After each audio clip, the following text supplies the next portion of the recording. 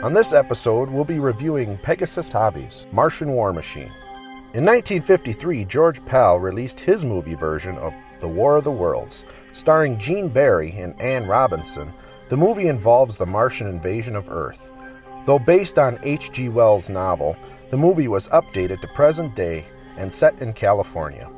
While Barry and Robinson were the main characters, the true stars of the film were the Martian war machines. In the novel, the war machines had three legs that they walked on, but for various reasons, the effect couldn't be created convincingly. It was eventually decided that they would float.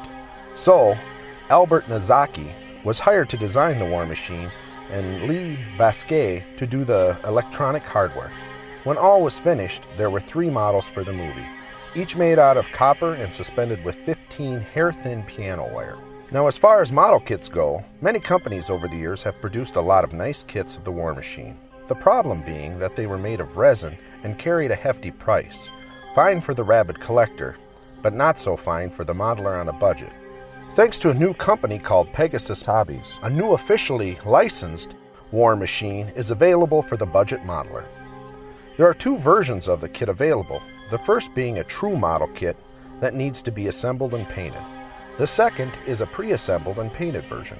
That is the one I will be reviewing. The kit is 148 scale and gives you a nice size model that measures out at 9.5 inches wide, 9 inches deep, and 5 inches high. The copper chrome plating is very well handled. I'm glad that Pegasus went this route instead of just using a spray on paint.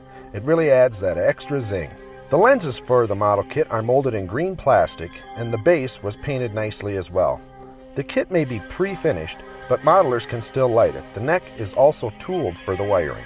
The packaging for the kit is done very well. With a window packaging design, you can see the Martian war machine set in a diorama, basically from a still of the movie.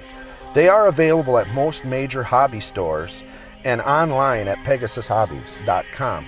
And don't forget to check out their website because they've got plenty of new kits available and also more coming out. Don't forget to check out our website, monstermodelreview.com. I'm Chris Gierke, and thanks for watching.